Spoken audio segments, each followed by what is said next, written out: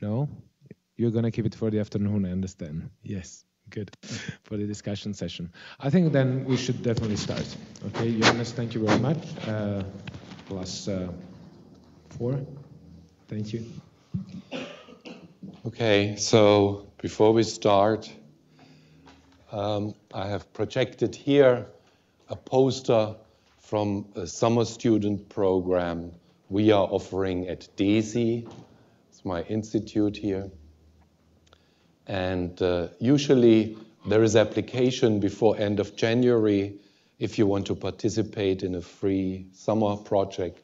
This is six weeks where you get lectures and where you get to work on one of the plenty topics that DESY is uh, doing its research on, uh, specifically, you know, elementary particle physics, astroparticle physics, accelerators, theory, experiment, analysis, whatever. Yeah. So um, perhaps you finish your undergraduate degree and you have some time before you start studying at university, or you would just like to get a feel on how people are working, physicists are working in a big research lab, then you can apply for that. It's international, it's based on merit, so you better have good marks, of course. And, uh, and then maybe you can come for summer 2020.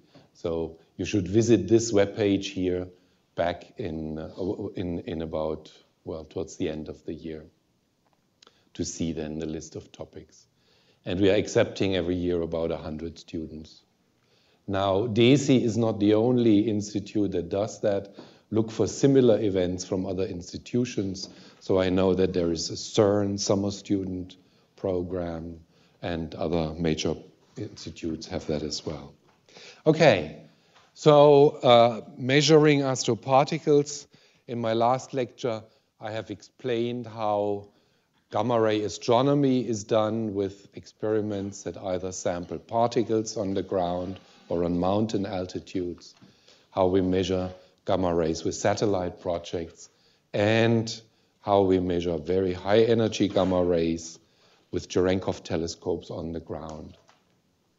And towards the end of last lecture, I have shown you some results from satellite uh, experiments, and I'm continuing today now with a few more results from the ground-based uh, experiments, just to give you a flavor how things are progressing and how well uh, sources can be detected. So this is from the HAWC high altitude water Cherenkov detector, uh, a sky map. You see here the galactic plane. It's kind of measuring along the galactic plane in different energy ranges. Yeah? and you see here individual projects. Remember, this was a project with lots of water tanks on 4,000 meters altitude. It was just looking up and it saw the whole sky above it all the time. And once you do that for several years, you can work out where the, the, the sources are sitting. And you see here they have catalog numbers 2HWC, so the second HAWC catalog with its position in the sky. But you see also that the number of sources is relatively limited. Um, this has to do with the fact that the energies have to be relatively high. With Cherenkov telescopes, we can measure down to 100 or 50 GeV. Here, the whole thing starts above 56 TeV. So we are seeing here the high energy end of, of spectra. And, uh, you know, you see here that things is, are complicated. You have these colored contours, and uh, then HAWC determines what the best position for the source is. But you do have objects where there are several sources, perhaps, that contribute, you know, and uh, here two. And uh, there is from other catalogs then measurements. Sometimes they do coincide, coincide relatively well, other times not. Yeah, so HAWC sees just one blob here, but Argo sees a source here, uh, Milagro source here, so maybe this is all within the errors. This is sources from Veritas. There's a good agreement. Uh, here is not so good an agreement. So it's all comparing with other experiments and improving the measurement precision in order to learn in the end what the real situation is. And just to give you a flavor of the resolution, somehow obviously this is the size of the blob that HAWC can see, yeah, and it can't resolve any much better than that. This is the size of the full moon. So these are really relatively poor resolution images, and uh, one would like to have that much better. Now, here is the, the sky plot now of HAWC from last year. And you see the wide areas. This is where HAWC cannot observe. Here you see a part of the galactic disk. You see a few sources that are off the galactic disk. This is uh, the crab. And in that projection, the galactic center sits right here. And then, of course, the galactic disk continues here, where obviously HAWC cannot see anything. And also coming close to that borderline here, obviously the galactic center is not detected for HAWC. So this would be a detection where showers come in at quite a big zenith angle. And they have to evolve in an atmosphere that is relatively thick. So obviously here, the sensitivity for detection degrades, whereas this part here is a part of the galactic disk where HAWC can observe right overhead and the, um, the atmosphere is relatively thin.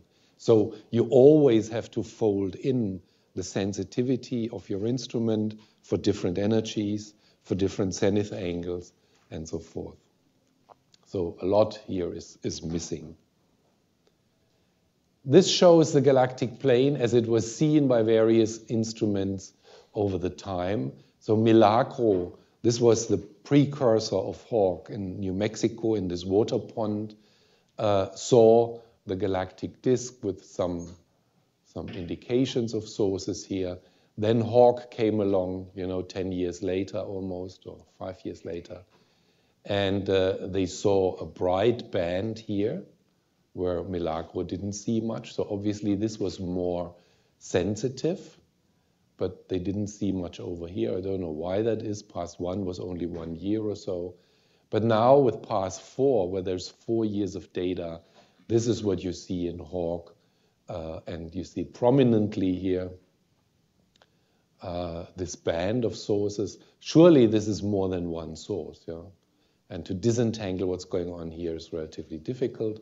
And here prominently you see these two individual sources that already Milagro has seen in taking eight years of data. So this is eight years, this is four years. You see the difference in sensitivity and quality with a more modern instrument. I've shown you that the currently active Cherenkov telescopes with four or five telescopes of about 12 meter or 17 meter diameter, and uh, they have good sensitivity at, at high energies. And uh, here is the sky obtained with these three instruments basically for the last 15 years or so. So the background map is the Fermi sky map with a galactic disk here in between.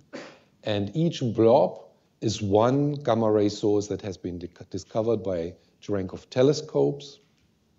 This is above about 100 GeV or so.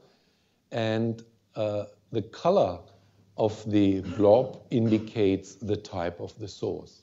Now, first of all, you see there are several types of sources. Pulsar wind nebula. This is something like the crab. Yeah? This is the crab nebula. X-ray binaries, pulsars, uh, gamma ray binaries. Yeah? So these are binaries, binary stars that circle around each other, and one more massive object sucks in material from, from uh, the other one, and in the process, gamma rays are produced.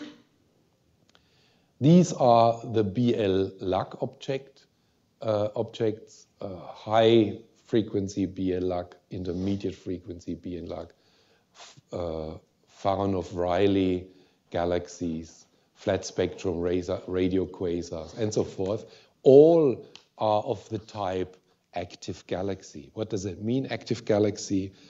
Uh, this means in almost every major galaxy sits a supermassive black hole. In our own galaxy, we have a black hole of 2 million solar masses, but there are others where the black hole has 4 billion solar masses. Okay, there's quite a range. Still, 2 million is a lot. And if this black hole feeds, kind of sucks in matter from stars, from gas clouds, and so forth, uh, the, the energy released in this gravitational inflow uh, can create these massive jets and massive emission, so to say, the death cry of matter before it's falling in the black hole. And these are active galaxies that are very bright. The center of such a galaxy outshines all the stars in the galaxies. Now, in our own galaxy, which is a moderate sized one, uh, we have about 100 billion stars. Yeah? So you have a tiny little object in the center that outshines 100 billion stars. And uh, that's why these can be seen from far. What we observe here, all these red dots, uh, are largely objects at cosmological distances. Yeah? Um, okay, so what do we have? Shell type supernova remnants, molecular clouds that are hit by, uh, by cosmic rays, starburst galaxies. These are galaxies that, that have an unusually high rate of star formation, and also they produce gamma ray bursts along. Then there are gray ones here, these ones.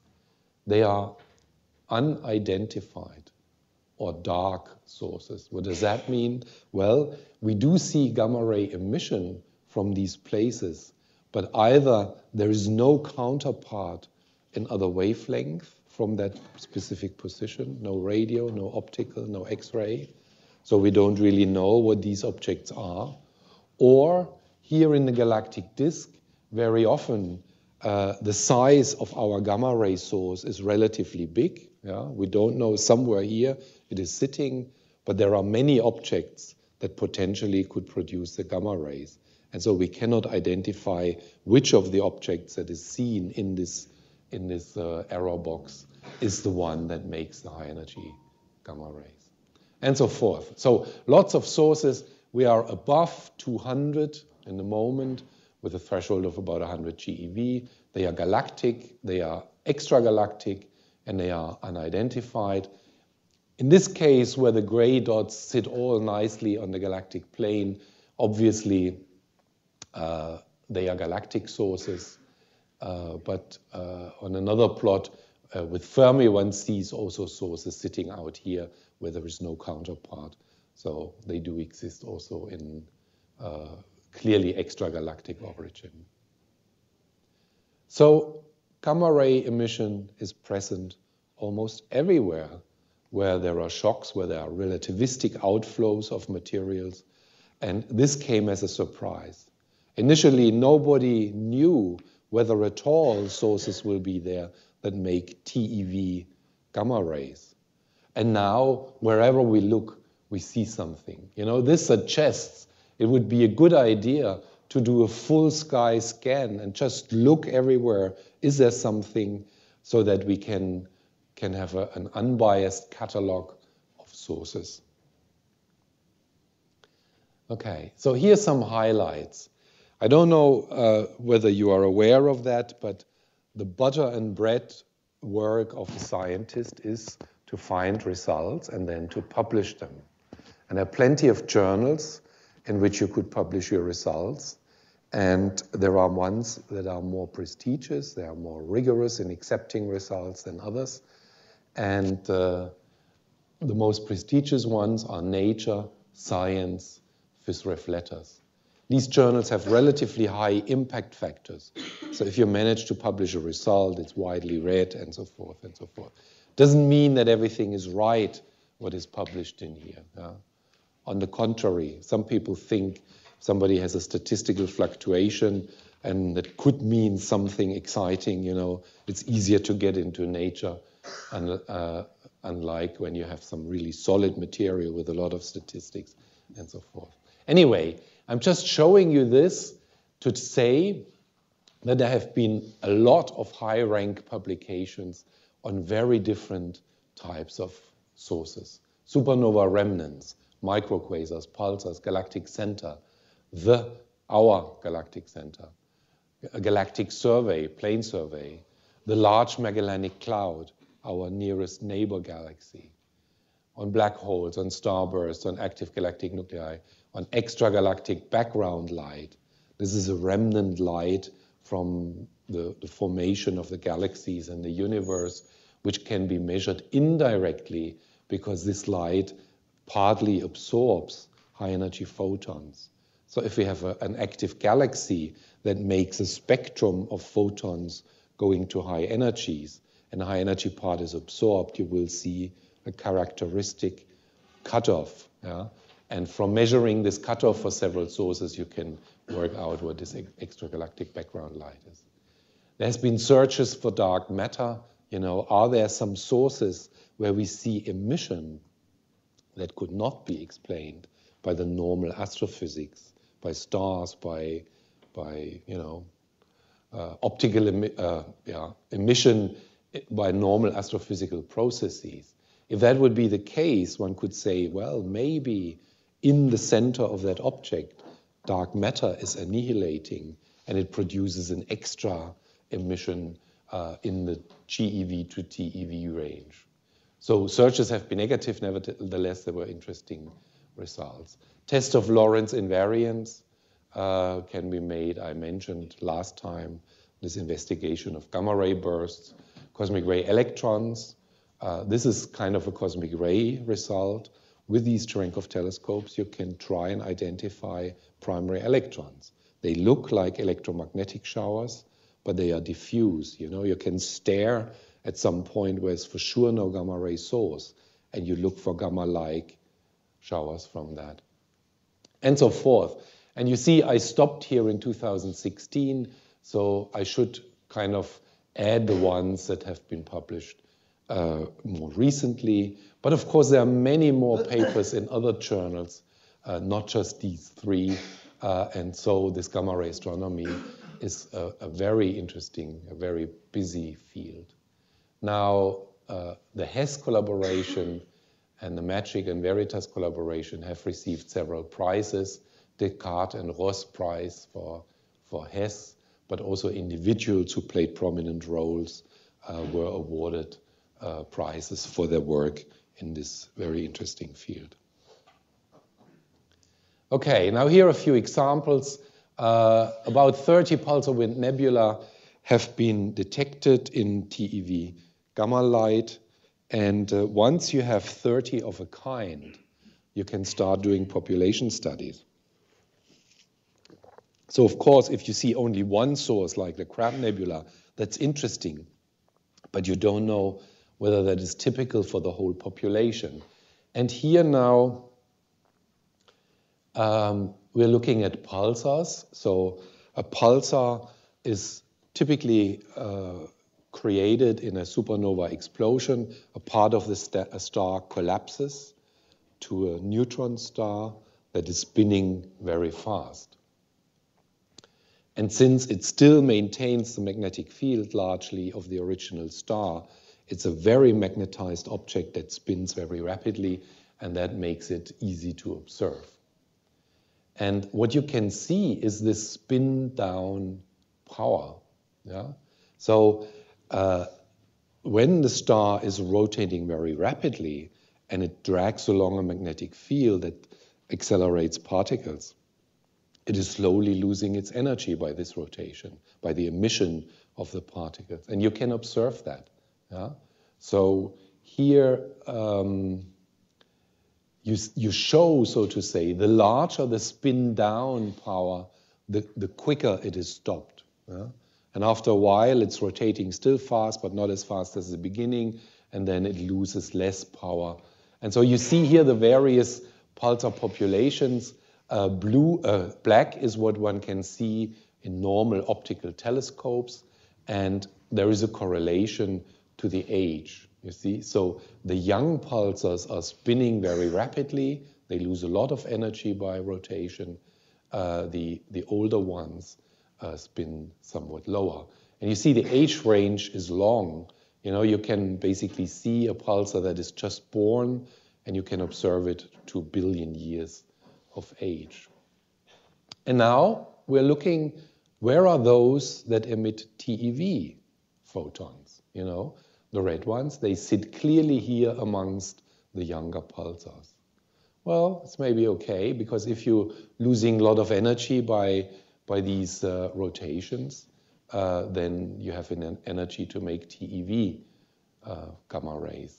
The older ones uh, are producing only GeV, you know, uh, if at all. But you see there's nothing down here in the most typical optically selected pulsar area. The GeV pulsar sits somewhere here, and this is off this main, main route. So it's unclear yet uh, how this comes about.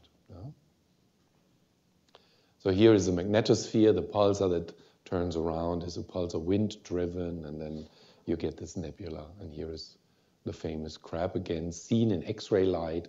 So you see something is rotating here, you see a jet coming out, and, uh, and the TeV light it, at the crab comes from that nebula. It doesn't come from that central point. Now, this was a source detected by Hess uh, of a pulsar, and um, we are seeing here it is extended. Yeah? This here is the point spread function of the Hess telescope. This is, so to say, how a point-like source would show up in that telescope. It's not perfect, so it has a certain size, like the resolution of your, your instrument. So if we were seeing things like that, you know, we would know they are largely point-like. But we see emission that is much larger, and um, and you see that the center of gravity of the emission is somewhere here. But what is driving this emission is this pulsar, and uh, that sits here. So you see that the emission does not come from the pulsar directly. The pulsar does something in his environment, and uh, obviously here uh, it's most prolific in producing gamma rays. So if you have now such a, a well-resolved, a big image, you know, you can now try and measure what is the energy spectrum in the different parts of this object. Yeah? So, so here uh, the, the fields are numbered 1, 2, 3, 4, 5, 6, 7, 8, 9, 10, 11, 12. And you can measure the spectrum, the photo index in the spectrum, so how quickly the spectrum falls off and how much photons are emitted from that specific point. And you see that here, somewhere in the perimeter of the field, we have a, a very steep spectrum, yeah? e to the minus 2.7 or so. Relatively steep. And we have a low flux. Whereas in the center, 679, we have a very flat spectrum, you know, and we do have a high flux. So somehow there is a correlation and by measuring this, if you can resolve it and you can determine for every point an independent spectrum, helps you to, to understand the mechanisms that are here at work. That was also a very interesting uh, object seen by, by Hess. It was known as RxJ 17137, and uh, this image here is what you can see if you observe that with Hess. You see TeV gamma rays, and they come from this shell. Yeah? So obviously the, the object is a supernova remnant shell. The supernova set here, it exploded, and here again the, the uh, ejecta kind of plow through the interstellar field or the, yeah, material, and here is the main emission. Yeah? So for the first time, one could say, see that TeV photons were produced in this shell where the shocks are. It was not clear until then that one can, can see that. And if you observe the same object in, in uh, X-ray, then you see that also the X-ray emission uh, comes from the shell and not from the central, central pulsar. So uh, for this object, I show here now the energy spectrum. And uh, I have here the scale in milli electron volt, electron volt, keV, meV, GeV, TeV. So it's covering really the whole electromagnetic spectrum, many orders of magnitude. And the measurements shown here are done with different instruments. This is a radio instrument, gives one point here. This is X-ray. Yeah, so here we have some spectrum and Suzaku, ASCA and Suzaku. We cover that. Then here was a measurement from EGRET. The old gamma ray is only an upper limit, so it says the flux is below this line here. And then this is the Hess result from the slide before. Yeah? So here we are between 100 GeV and 20 TeV or so. And now you recognize this characteristic shape I've discussed previously. So we see here a nice synchrotron peak. Yeah? Obviously, there are relativistic electrons responsible for that shape. Yeah? And it nicely fits the radio and the X-ray measurements. Then we had also uh, inverse Compton effect, also with relativistic electrons that could produce higher, higher sources. Yeah? And in this case here, the inverse Compton expectation sits there. So from here, you can estimate what the magnetic field is, and then you can work out what the electron density is, and then you get some sort of prediction. And clearly, this is far below what Hess is measuring here. Yeah? So, whereas if you uh, uh, assume that uh, the, cosmic the cosmic rays are produced in collisions, you know, uh, the particles produce pi zeros and the photons come from the pi zero decay, you are able to describe that shape. So this was one of the first um, sources where one really had an indication that pion production, cosmic rays, are a prominent source of the, of the, the gamma rays. Interestingly, this was not an early source. So all the sources that Whipple observed, the Crab Nebula, the Markarian sources, and so forth, could be perfectly described with relativistic electrons only. Yeah? So this one was there high enough to describe the data. And so even though that we know that the universe and the galaxies are full of cosmic rays. We didn't see that at first in the, in the gamma ray spectra. But now, meanwhile, there are a few sources where one can say this is clearly a collider or a, an accelerator where a lot of uh, cosmic rays uh, are accelerated. Hess looked at the galactic center and uh, this was one of the first sources to be observed, you know, the first instrument in the southern hemisphere with a good sensitivity. And of course, they saw prominently the galactic center shining in TeV light. And in the same field of view, they saw also another source that was sitting there could be identified as a supernova remnant. Yeah? So nice, there is a bright gamma ray source directly in our galactic center.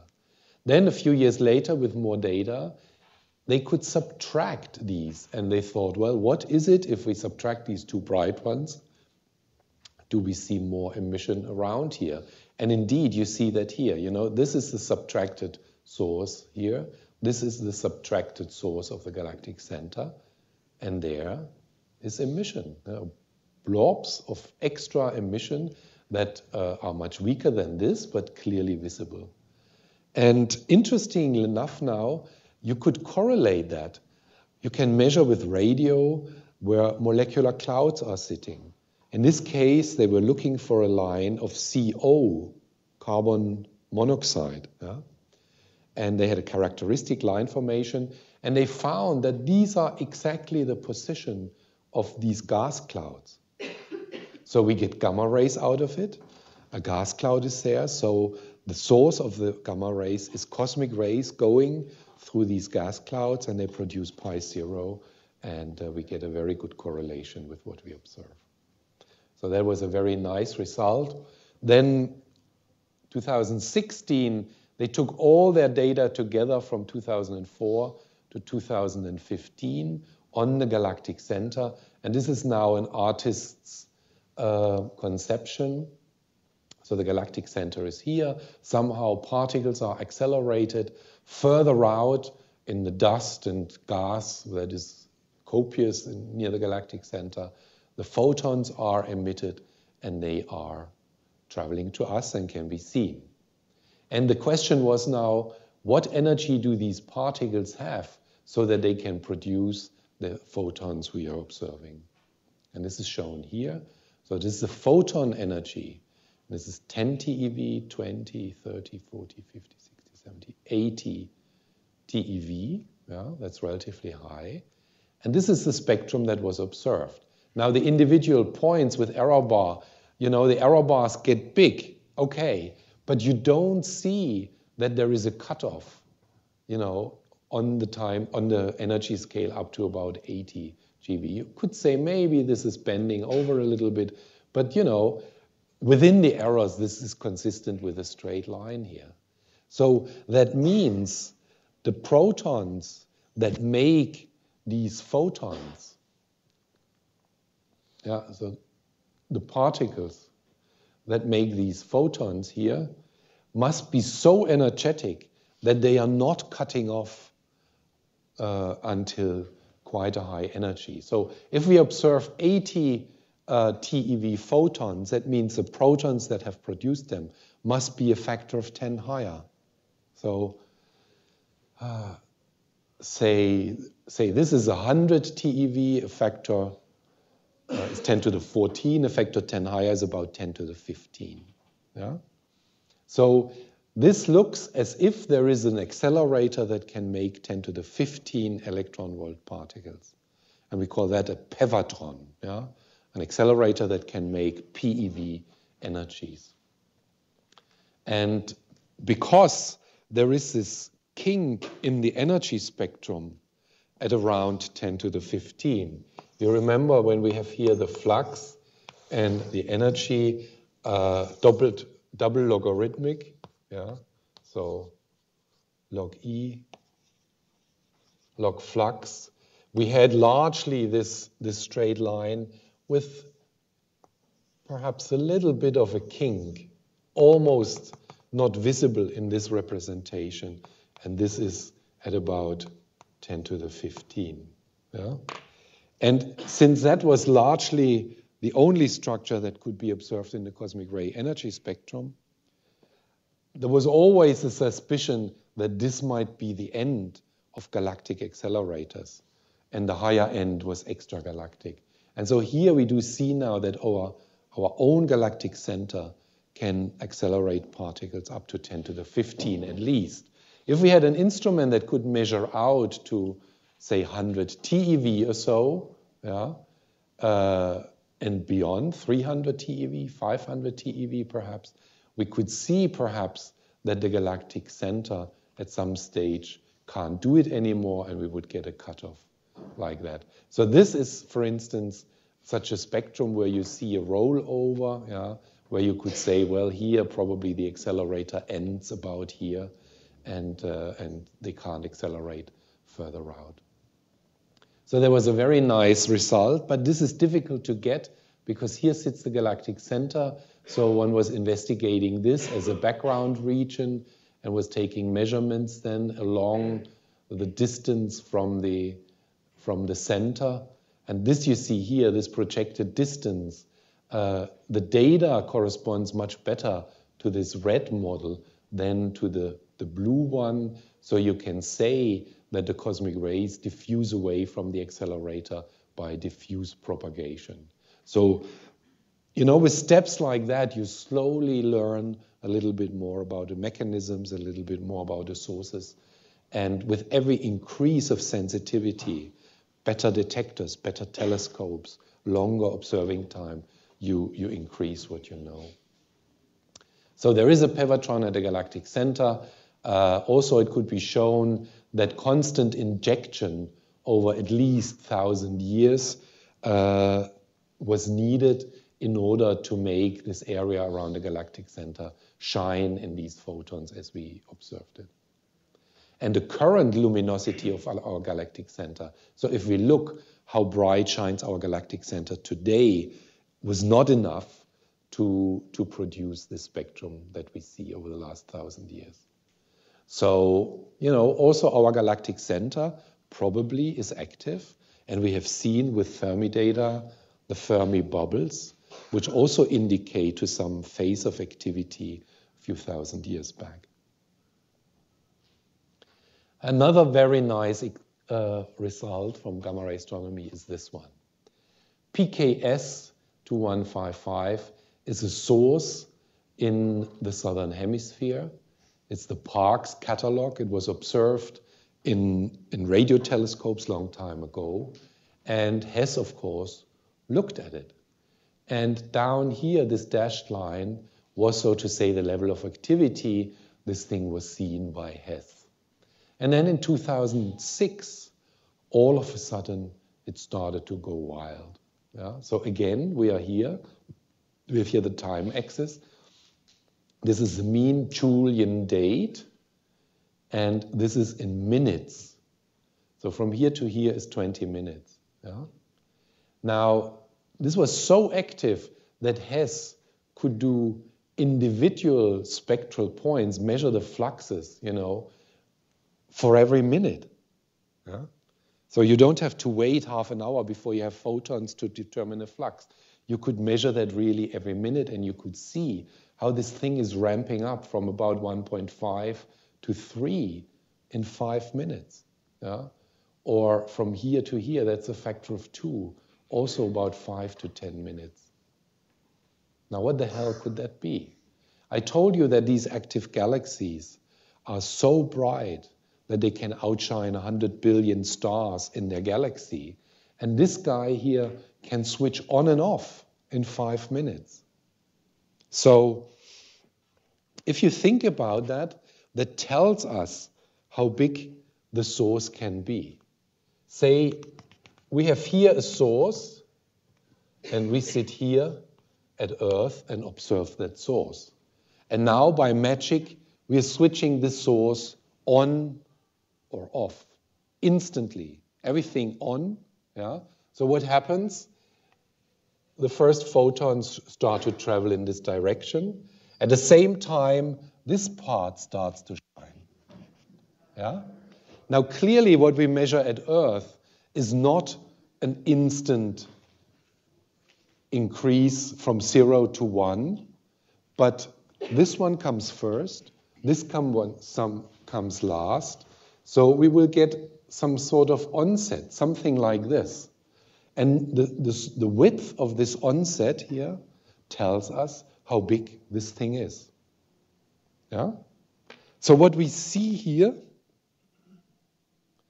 is that the width of this thing, the size of this light emission region, is of the order of 5 to 10 light minutes. Do you ever feel what, what is 5 to 10 light minutes? It's about the distance from the Earth to the Sun. Yeah?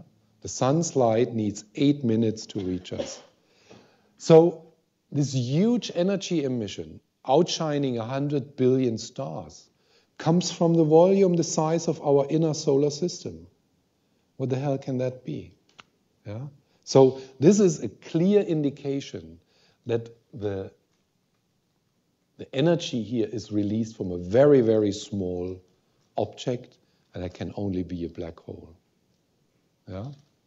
If you want to release such an energy on so short time scales, the emission region is of the order of our solar system. Now, there is a factor that still plays a role here. If this material is shot towards us with a high velocity, we get some boosting. Yeah?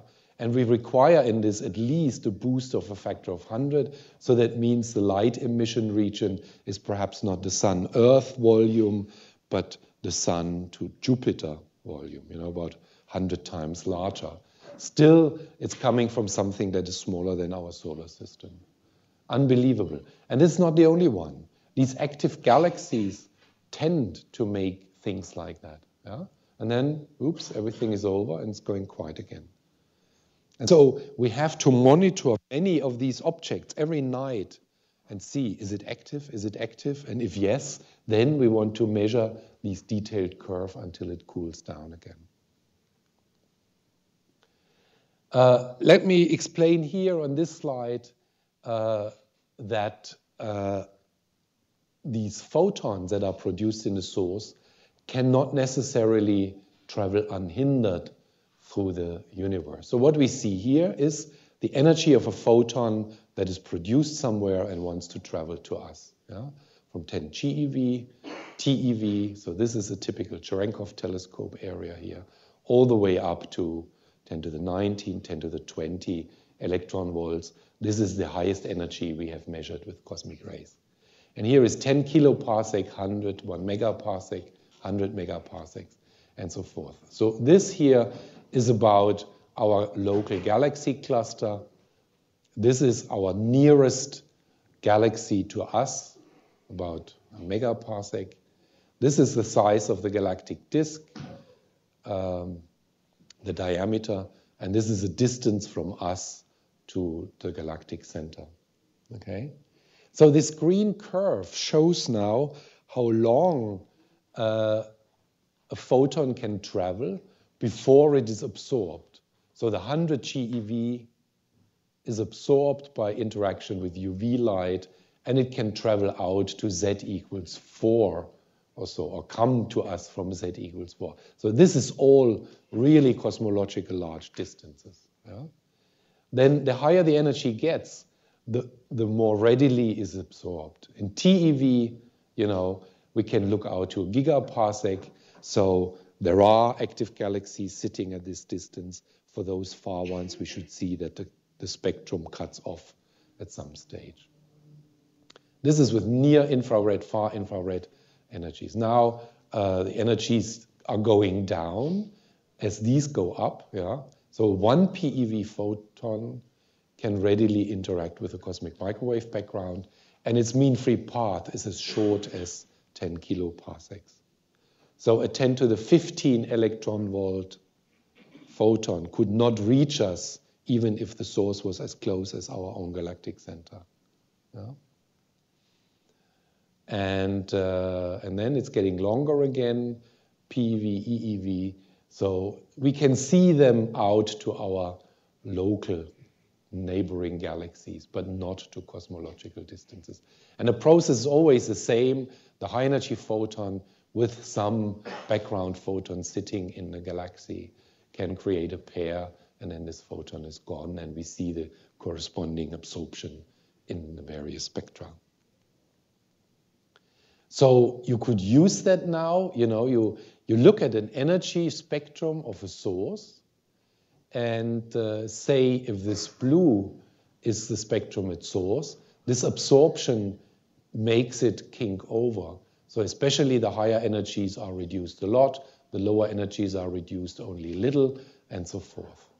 So if reversely, now you measure an object that has a spectrum like this, you know, the, the grayish points, yeah, then uh, you can, you can say, well, this kink off is due to absorption in the background light.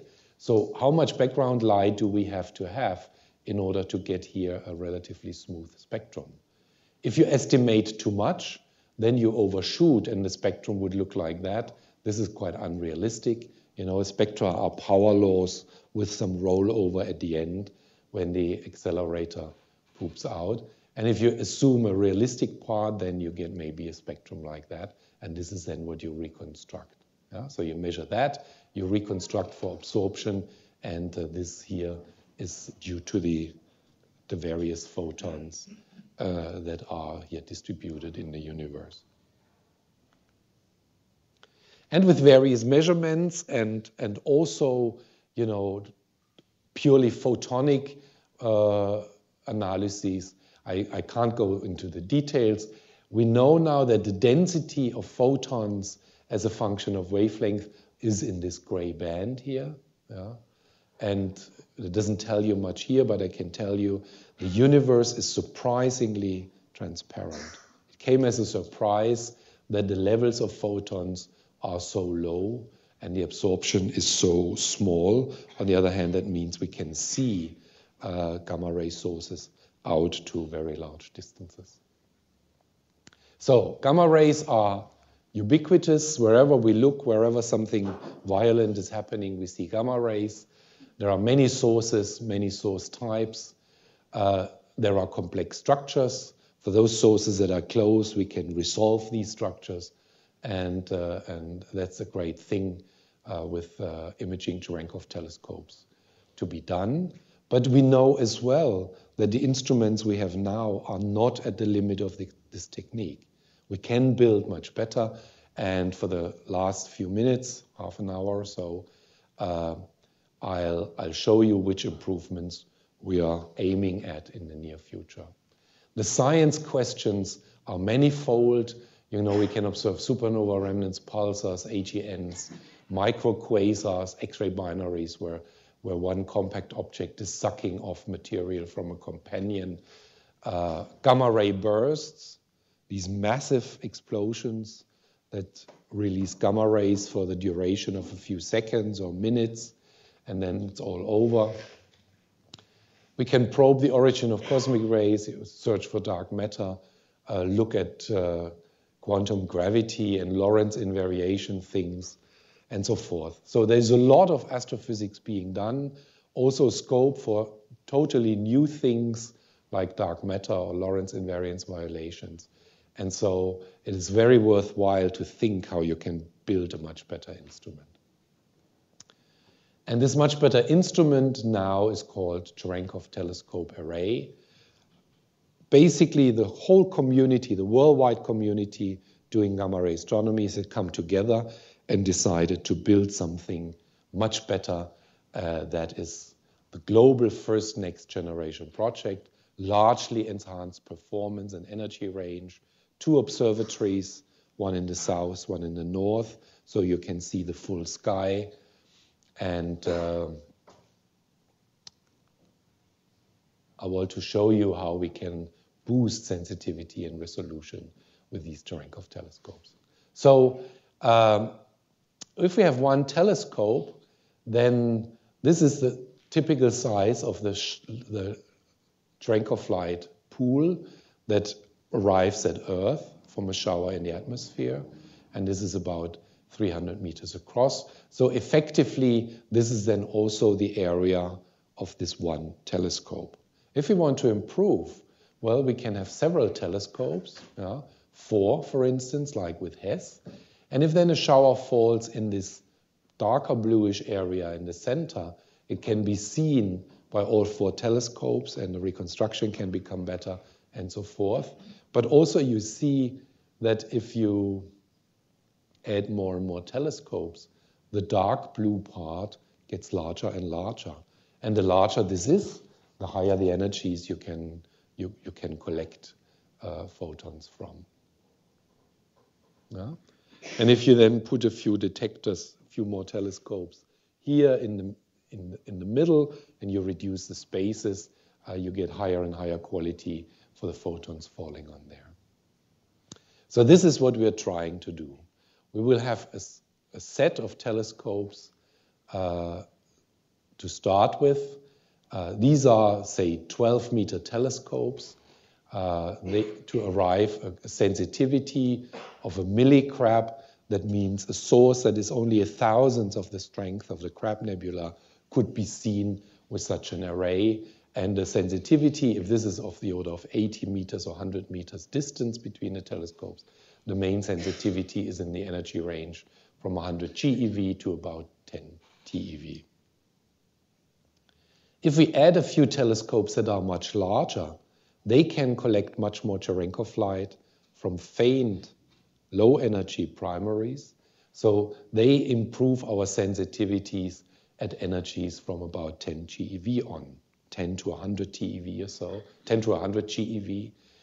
Uh, and we can do that either by having bigger dishes or alternatively, we could also have an area where the, the same size telescopes are placed just closer together. Yeah? So if you bring them closer together, you increase as well the sensitivity. And then third, to have improved sensitivity at very high energies, we build small telescopes and put them all around. We cover a big area with these small telescopes. The rationale behind that is that if you have very high energy primaries, they produce a lot of Cherenkov light, so you don't need large mirrors. You can build small mirrors, four meters diameter, say, and they see still enough Cherenkov light in order to reconstruct the showers. And then you can pull them further apart so that in the end your effective detector becomes several square kilometers in size and again, you can go a few decades up in energy. So this is kind of uh, computer drawn, big telescope. So CTA will have three sizes, uh, 24 meters diameter here, 23 meters diameter here, 12 meter diameter, and then some four to seven meters. It's now more down to four as an old, old image. And we spread that over several square kilometers. And if you then have many telescopes, you get these typical shower images. Yeah? And each image is from, from one telescope that has a distance from the, the shower center here. Yeah? And if you have those, they all point to the point of origin. So this is an overlay. Sorry, maybe it's unclear. One telescope produces in its camera one such image. Yeah? So this is from one telescope, maybe the one that is closest here. This is from a telescope that is further out. But then for analysis, you can put that all on top of each other and you see where they are pointing. So the shower comes from this point in the sky. Yeah? So the, the, improvements that have been done uh, are somewhat summarized here. Uh, first of all, uh, the imaging has been improved by having a larger field of view, finer pixelation, larger dishes to collect more light, do stereo observations, uh, first with two telescopes, then with larger array. Now, the photo detection have been improved. This stands for high quantum efficiency photomultipliers. Photomultipliers typically have only a probability of 25 to 30 percent to detect a single photon. This is, of course, bad. Yeah? Nowadays, there are photomultipliers that have 60%. So this increases the number of photons you record by a factor of two, and that is equivalent to build a dish that has twice the size. Also, the photomultipliers are replaced by silicon sensors.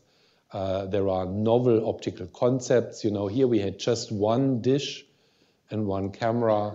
In the novel telescopes I show in a moment, there are dual mirror, two mirror telescopes that give a wider field of view with smaller cameras and so forth.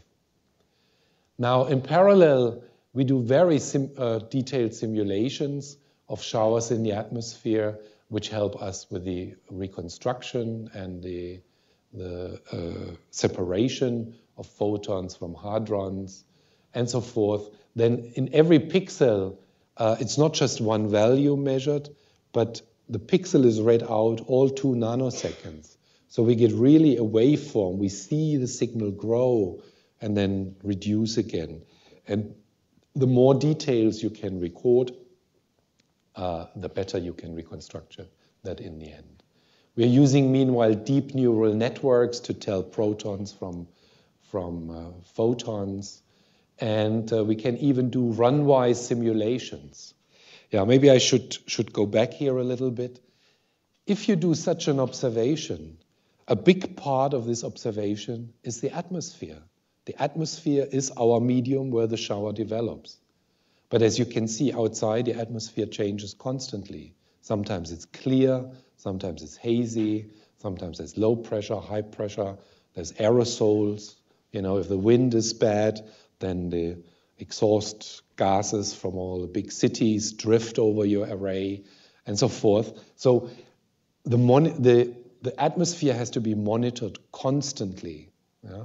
so that you know which fraction of the track of light is already absorbed in the um, uh, by the gases and by the, the absorbents in the atmosphere.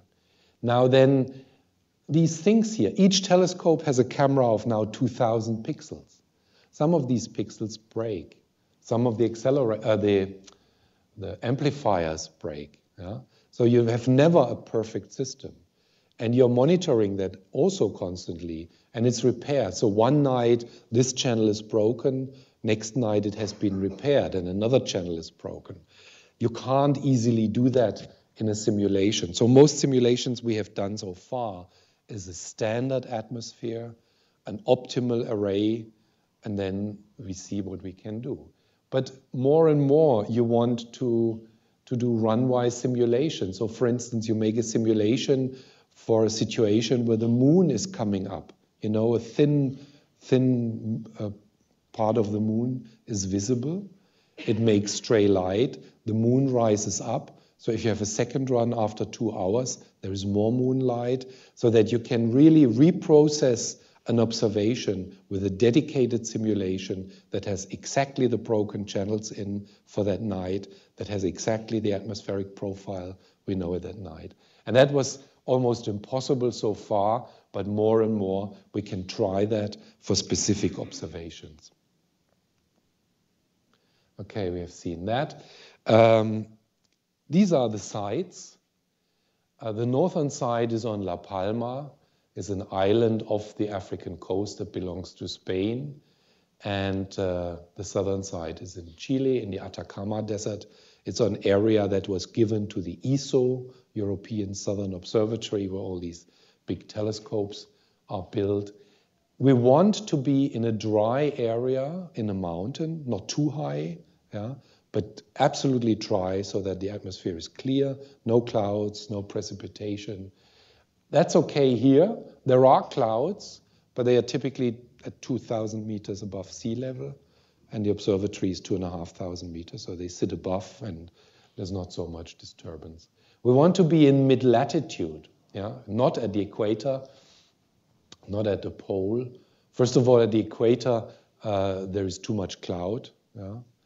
Um, here, if you sit at about plus or minus 30 degrees, and you have a range you can good observe from plus or minus 30 degrees away from the zenith, you're covering really from the, the solar equator, so to not solar, the, uh, the star sphere equator, all the way to the pole, or not quite to the pole. A little hole is left, and the way also here they can go down to, to latitudes of zero and let up to latitude 60, 70 degrees. So in combination, you cover almost all the sky.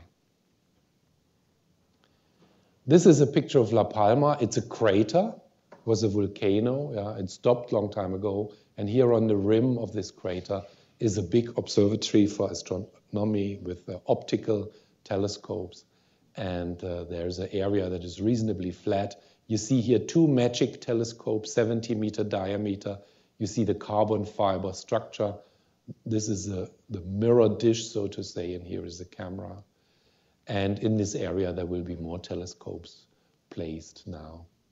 And you can look down on the sea. This is the sea. You see the, the, the waves in the wind. And uh, usually there are clouds then down below that do not harm for the observation here. This is Chile. Uh, these are the two mountains where ESO builds the big telescopes. Cerro Paranal, very large telescopes, sit here. You know, this is great, of course, if you want to build such a telescope. You go on the top of the mountain, there's rock, you, you kind of blaze away the top, you have a, a level area, and then you build your huge telescope. Same here. They are sitting on the mountain. The European extremely large telescope is being built here in the moment. And this is where CTA will be. We need a flat area So we're somewhat lower down. That's not so bad. The bad thing here is that this is not rock. This is sandy, this is gravel. So we have to test for every telescope what type of foundation we need. And then, of course, the Andes are earthquake country. Yeah? So we have to build our telescopes that they are not totally destroyed with an earthquake of strength 8 or so, which makes it costly. But this is the plan, and this is about 25 kilometers. Yeah? So the, you see here a street, so maybe we just build a street from here and a power line in this area, and then some, some building are made, and then here's where the telescopes will be. These are the baseline arrays. We thought, well, something like that would work. You know, of course, uh, cryptic names because we had many of them and they were all tested with simulations. How do you have to arrange the telescopes that you get a best overall performance? You see here the four big telescopes in the center, 15 uh, telescopes, no, 25 telescopes of 12 meters here, and then the small telescopes around. And this is from minus one and a half. It's about three kilometers by three kilometers, so overall 10 square kilometers about. On the north, on La Palma, there's not much space. In principle, this was a bad choice. You know, we measured different locations where to build the telescopes, and there were atmospheric measurements. Everything was evaluated, in the end, the commission took all the information together and they came out with Mexico as the best site. And then, second, two sites in Arizona, and then, very last, the site that Spain had offered, and that was on Tenerife, which is another island. Tenerife was too much stray light from the big city on Tenerife with a million people living. Yeah. And then the Spaniards said, oh, well, then we are out. Then no money from Spain. We must have a site on, on, a, on, a, on an island in the Canaries. And why not La Palma then? We know we have telescopes there. So it was a purely political decision. Yeah? La Palma was from the beginning not even considered. And in the end, the decision was made because the Spaniards promised 40 million euros. So here we are. We, we don't have space enough to build an extension. Yeah? Maybe later on we would have more money and we could build more telescopes around. It's impossible. Because you see here very rapidly there are deep cracks. The area just does not allow that you go beyond this red circle. Yeah? So here we are, stuck by a political compromise. And there are four big telescopes and 15 medium-sized ones.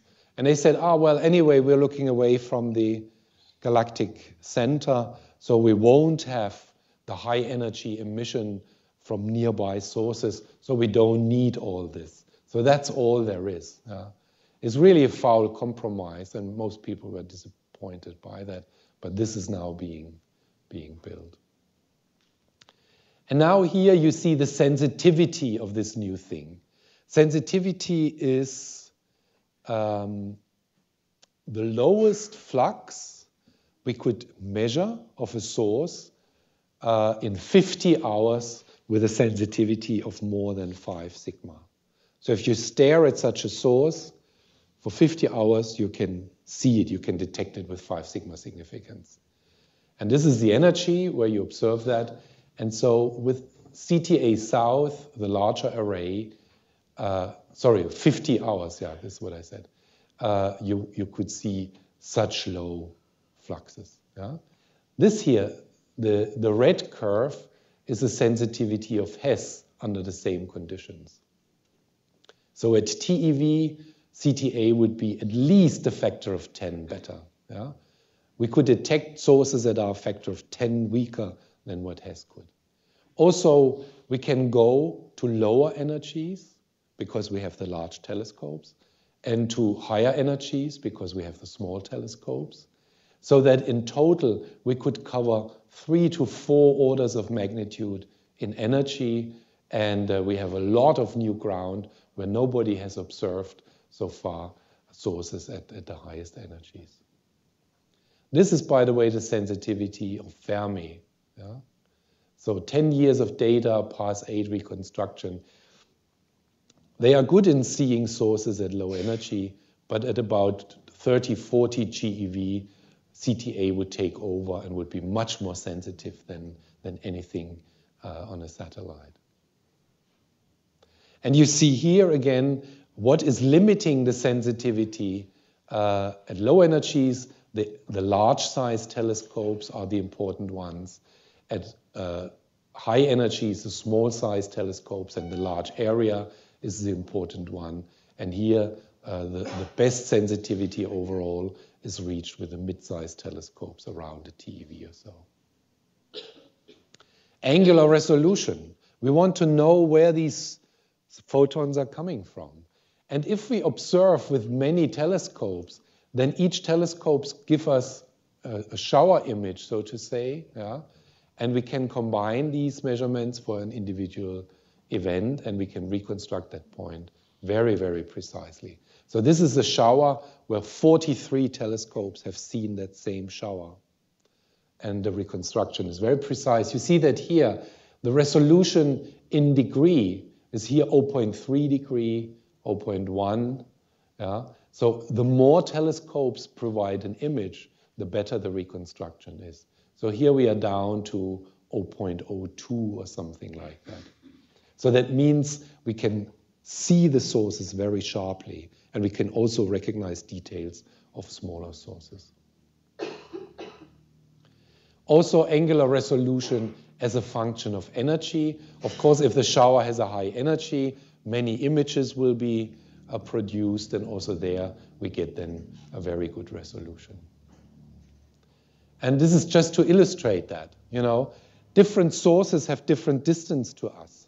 So SN 1006 is relatively close, and it, it appears like that in the sky. Yeah? Um, and you can see the emission comes from these poles here and there and not much in the middle. So you can resolve that nicely even if you had a resolution with your instrument of only five arc minutes. Yeah? You could see here it's bright, here it's not so bright, here it's bright again. Now, this is the nearest active galaxy to us, CEN A, somewhat smaller, M82, even smaller, Hydra, even further away. So with a resolution of only this, you can't resolve that. This will just look like a point. Also here, you will have a hard time to resolve the structures that you see in these optical images. So that's why if you want to study morphology, you have to have a good angular resolution, and with, with many telescopes we achieve that. Also, you're flexible in observation modes. So for instance, you could observe with all the telescopes you have the same spot in the sky. Yeah?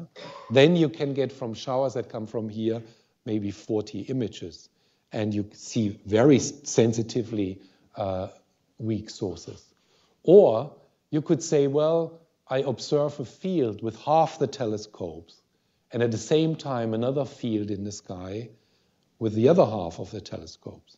Now, half the telescopes is less sensitive, but you can do two observations at the same time.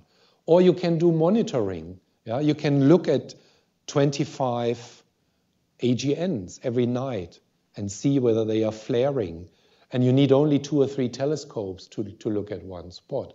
Or you can observe in such a mode that each telescope looks at a slightly different field in the sky. So in summary, you cover a large area. All these are possibilities that you can do if you have many telescopes and if you can't do if you haven't.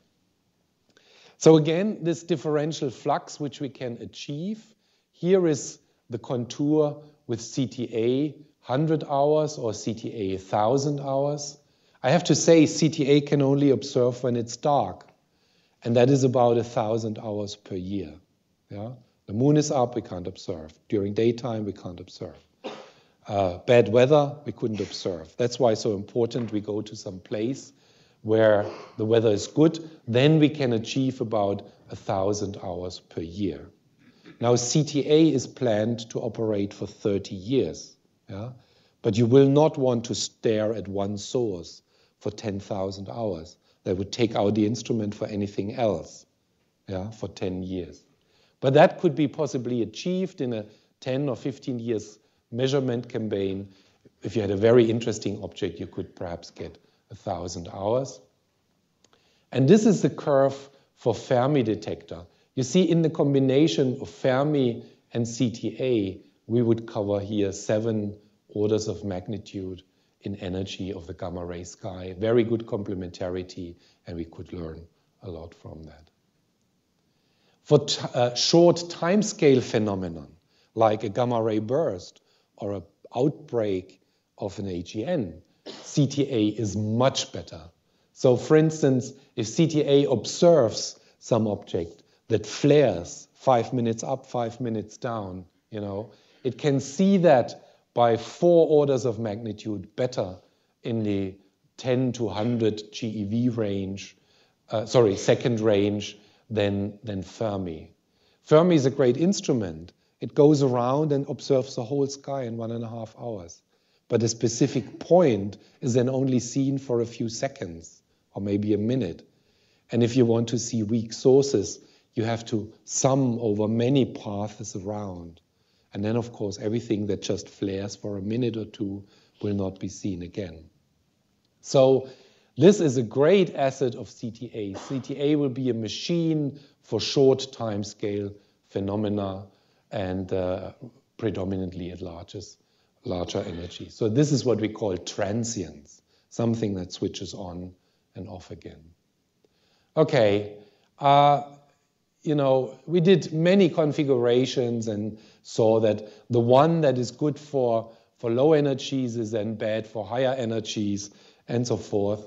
And in the end, uh, we chose this compromise I showed you before.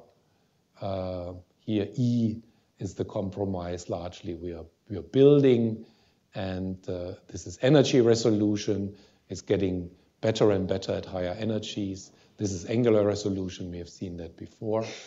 Uh, this here shows our galaxy, and uh, we are sitting here where this blue triangle is, our solar system. And the red dots are the sources HESS has discovered in our galaxy. Now you see they cluster around the area where we sit. So these are the sources that are close by to us. There are a few that are a little bit further away, but there's nothing from here. With CTA and the improved sensitivity, we could see all the red dots, so to say, in this area, and that means we could see everything in our galaxy. Nothing would be too far, uh, I mean, objects of that type, uh, not to be seen. So this is the visibility for uh, sources that are only 1% of the Crab source. So CTA will be a great instrument 400 times faster in surveys, very good for transients at 25 GeV, 10 to the 4 times better than Fermi. Uh, we have two observatories, north and south, and so forth. And so we would expect a great uh, achievement over HESS. So HESS, in its galactic plane survey, has discovered 58 sources. For CTA, in the same area, we, would expect to see about 600 sources, and with the extragalactic would be well over a thousand sources. And that is important. I show you here an interesting plot how different branches of astronomy have evolved.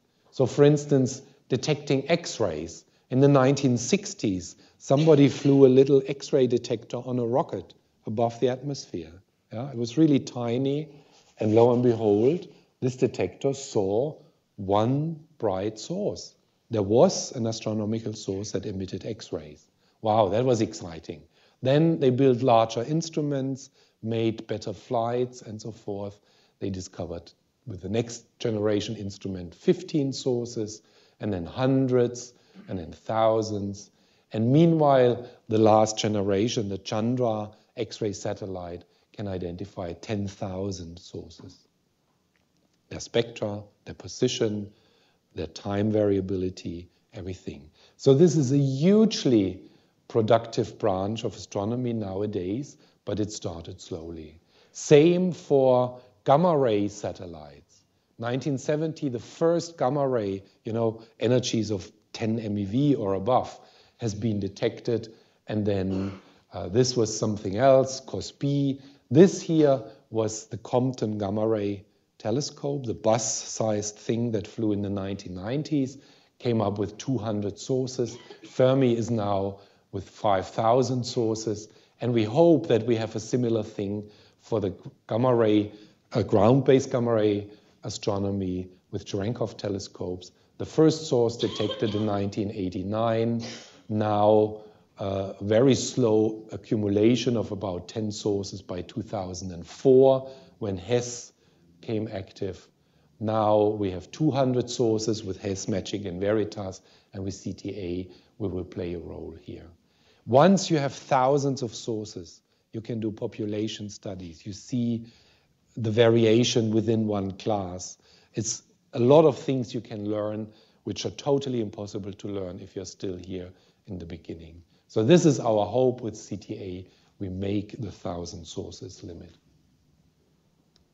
Some prototypes, of course, we build prototypes. 12 meter prototype for the mid-sized telescope. We are building this, and if you come to Berlin, you can go to Adlershof and look at it, and we can even move it around for you.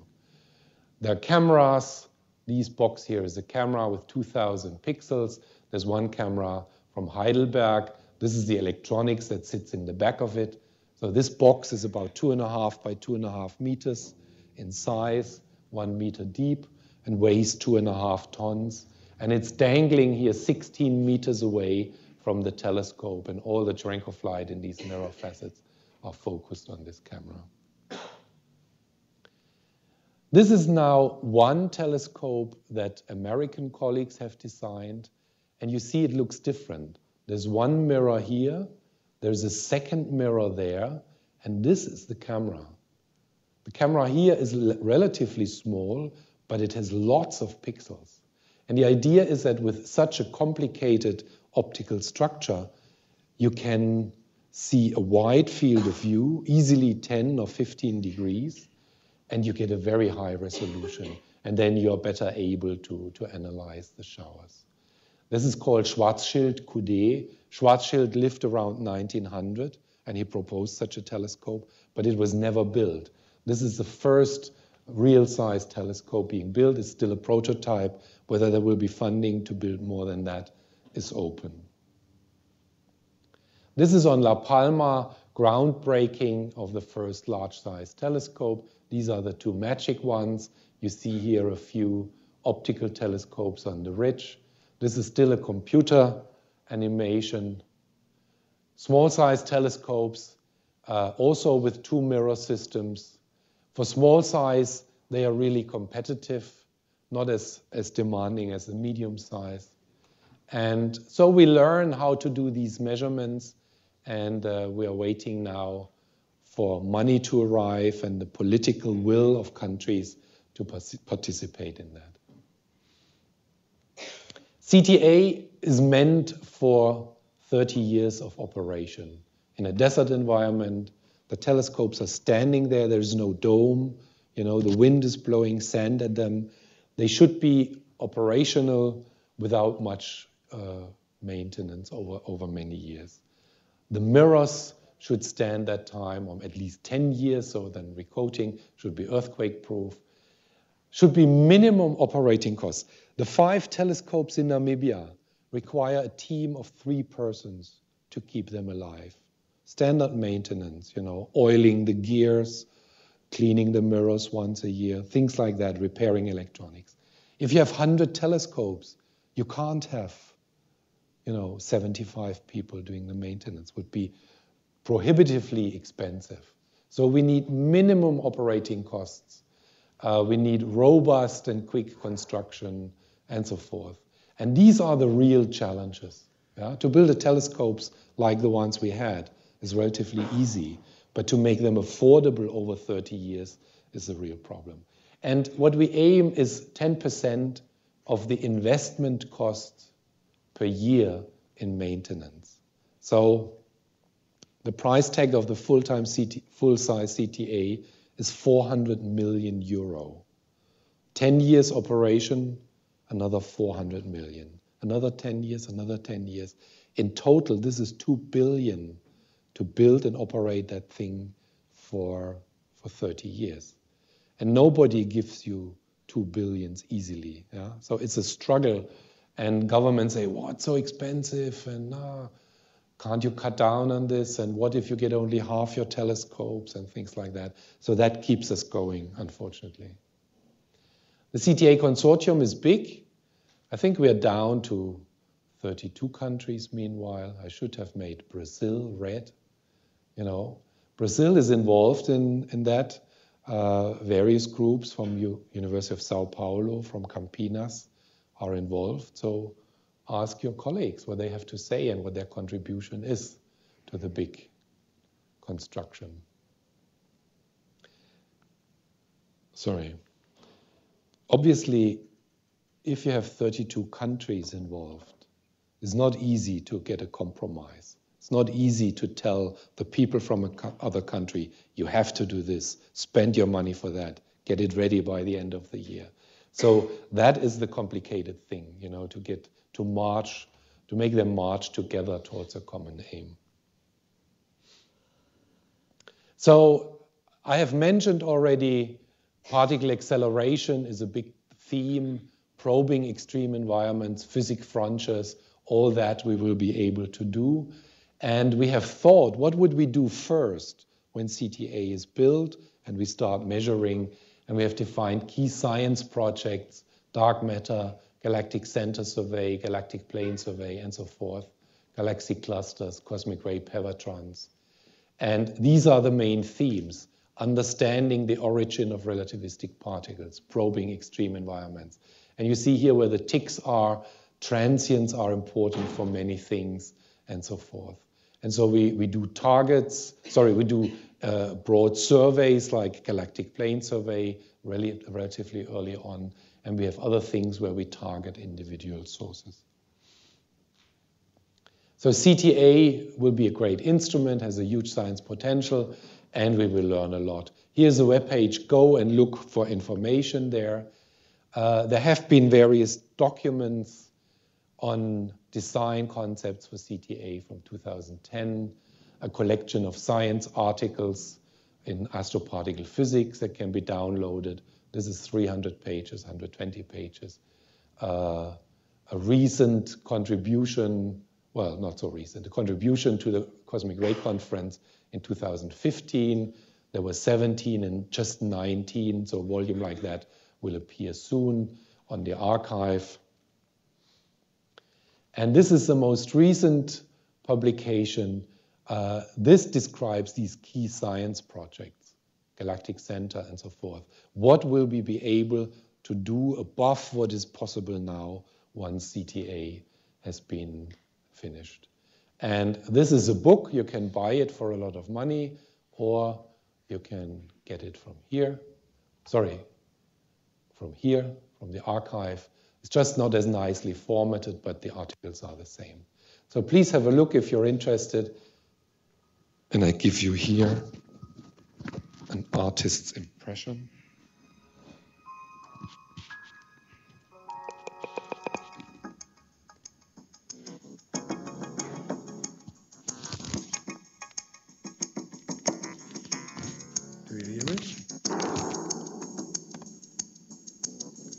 This is the, the layout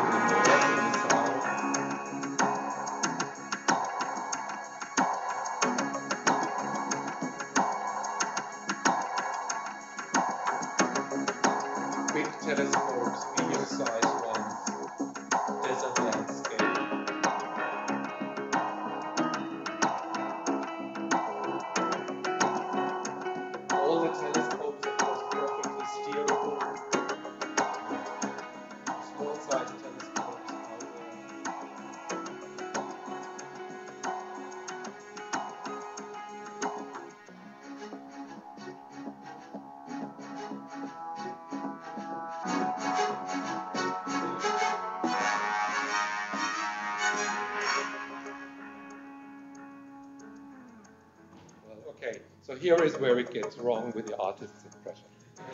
Okay, so I'll stop it here, and uh, we have time for questions.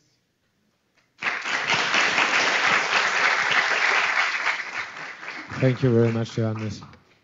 Maybe you could mention that, I don't know if it's still true, but if they get the internship in Zeuthen, there is a possibility to see one of these in action? Yes, maybe? yes. The prototype for the MST uh, is uh, close to our institute, our technicians have built.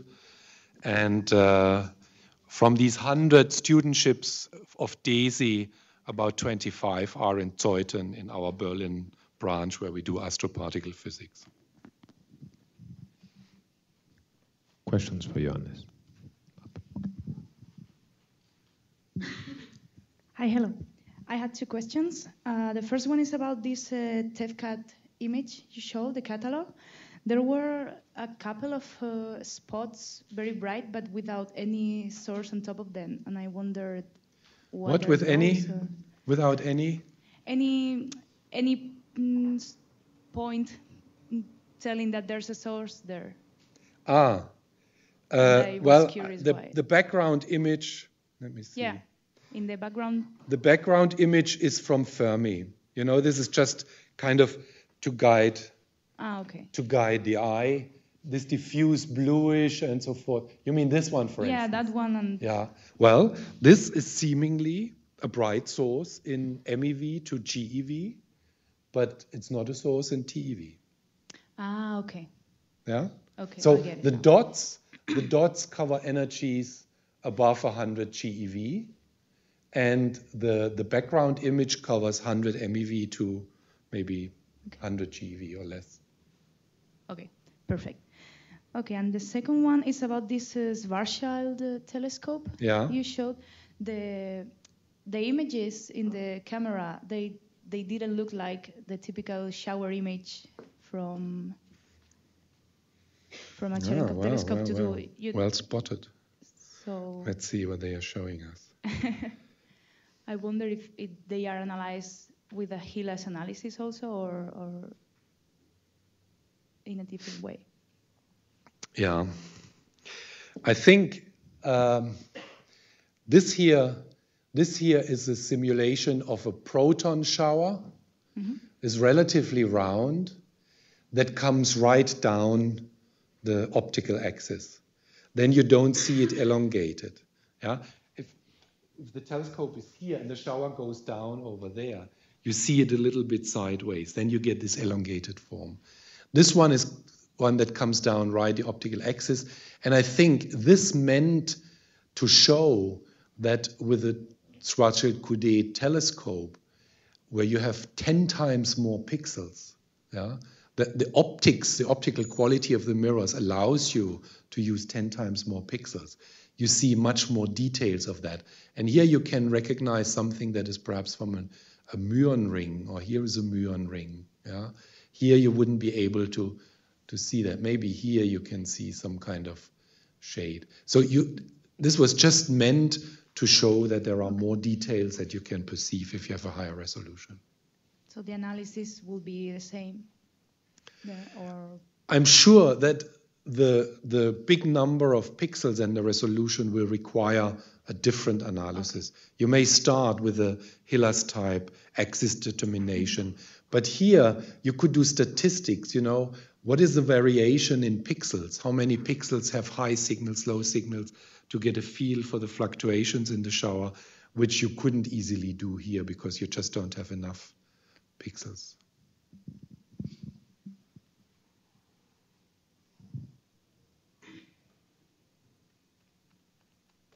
Yeah. Well, it's not a scientific question, but I'm wondering um, how the funding constrains the CTA observation modes and key scientific uh, projects. Well, that's a very good question. So, um, relatively soon after Hessen uh, started operating, it became clear that one could do much better with more telescopes.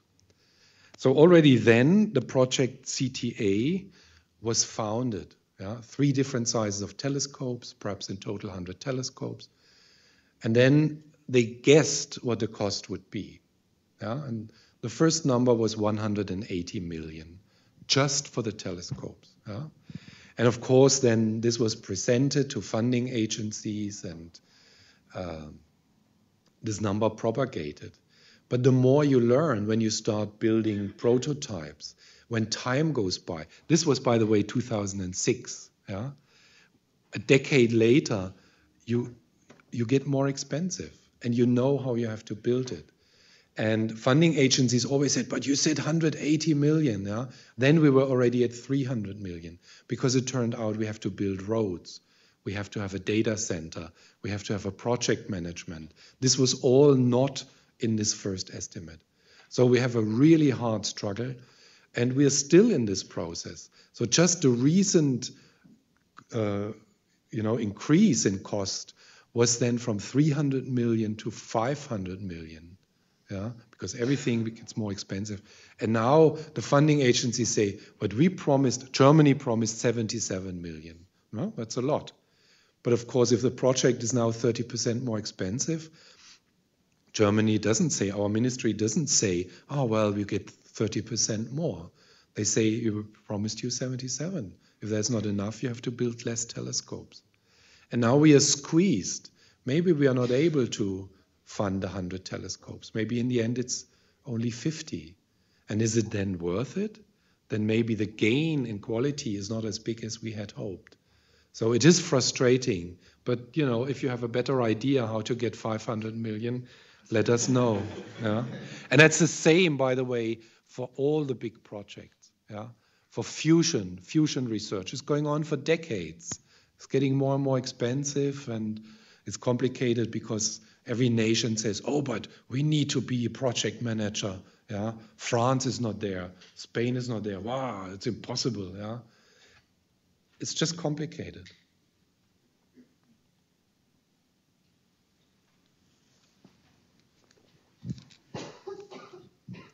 Hi. So, considering that CTA is gonna probe much larger energies than Fermi, for example, do you think that we should be more optimistic towards observations of the galaxy instead of extragalactic because of gamma ray attenuation? You're right. Uh, one big aim of CTA is the higher energies. And that will reduce the part of the universe we can observe it in. But on the other hand, it's the extreme end of acceleration mechanisms, of objects and so forth. And I think it will be great to learn in detail all there is to learn in galactic sources. And I'm sure we will, beside that, also learn about extragalactic stuff that is not too far away. But in the moment, there's just no way. We don't see how you can build an observatory that goes to, say, a PeV photons at large distances these photons are just absorbed, and there's nothing we can do about it. Yeah.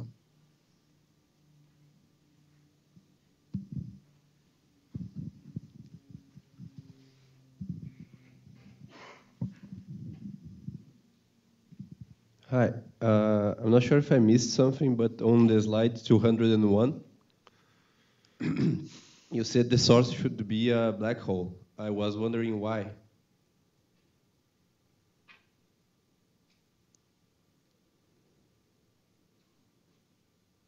This one. Well, the argument was that we see these massive variations in output on five minutes. From that, we can conclude that the emission region for this emission is only a few light minutes. But the energy output is so massive that it's inconceivable that anything else but a supermassive black hole can be in such a small area and produce such a high energy? Is it two arguments which, you know, the black hole has different definitions. It's a black hole of the theorist, where it says, ooh, there is 1 over x and x goes to zero. Yeah? So density explodes, goes to infinity. Nature doesn't know infinities usually. You know, it kind of changes something and then you, you avoid infinities. The experimentalists uh, definition of a black hole is that you have a volume in space somehow, you know, so here, there sits some mass, and say you have a star that goes around that, gravitationally bound. And from the speed of that star, or of several stars, you can conclude that within this radius there must be a huge mass. Four billion solar masses or something like that. Yeah? Yet you see this is a relatively small volume. So it can't be normal stellar matter. It can't be a dust cloud because you wouldn't get enough mass in here. So it must be not even neutron stars are not massive enough that you could fill this and get such a strong gravitational field. And then in the end, your conclusion is well, that must be a black hole. It's the only thing we know where you can have, in such a small volume, such a, a large mass. And this picture is roughly like that. You know, people, are, astronomers are observing the stars in our own galactic center, and they see stars on orbits going around like that, or another one, you know, maybe going along, around like this. And if you observe many of them, yeah, they go around over 10 years or so, you see that they all speed up when they come close to this center. They get very fast and then go slow again, very fast. You have movies on the on the internet over that. You see that for these movements, we need here 4 million solar masses. And there's no other way to make that than assume that there sits a black hole. That's an experimentalist's definition. Yeah? You have so much mass in such a small volume, it can't be anything we know. No stars, no planets, no gas, no neutron stars. The only thing is left is then a black hole. Are you going to be here this afternoon for the discussion yeah. session? So I suggest that we take all other questions for Johannes to the afternoon, and we thank him again. And before going back to coffee break, you give me back the paper with the signatures, okay? Whomever has it.